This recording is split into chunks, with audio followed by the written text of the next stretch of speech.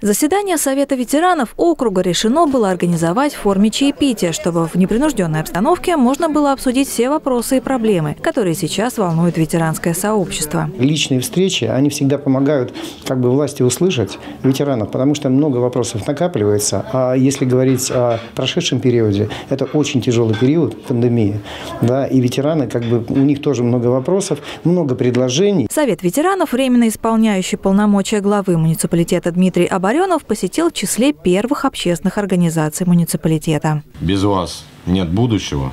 Это совершенно точно. Благодаря вам мы вообще здесь находимся и э, можем пить чай спокойно под мирным небом.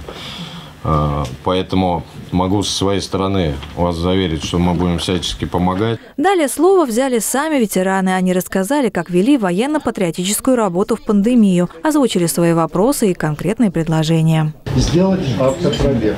Что мешает? Мы можем сами, мы еще пока многие, да, взять там пару микроавтобусов, посадить тех же ветеранов. Тот же патриот договориться как-то организованно, мы можем привязать сюда и школьников. Три года тому назад, последний раз, мы вывозили детишек в наш великолепный музей космонавтики, который находится в Мытище Королеве. Проблема в чем? Проблема в том, что, во-первых, он закрытая организация. Самый главный и самый тяжелый вопрос – это доставка детишек в наш да, музей. Именно транспорт. Именно транспорт. Ветераны также предложили усилить военно-патриотическую работу со школьниками и молодежью и открыть ветеранские общественные центры на территории муниципалитета. Дмитрий Оборенов пообещал взять все поднятые вопросы в работу. Также он предложил проводить подобные встречи на регулярной основе. Екатерина Борисова, Кирилл Иванов, Екатерина Давлятова. Видно ТВ.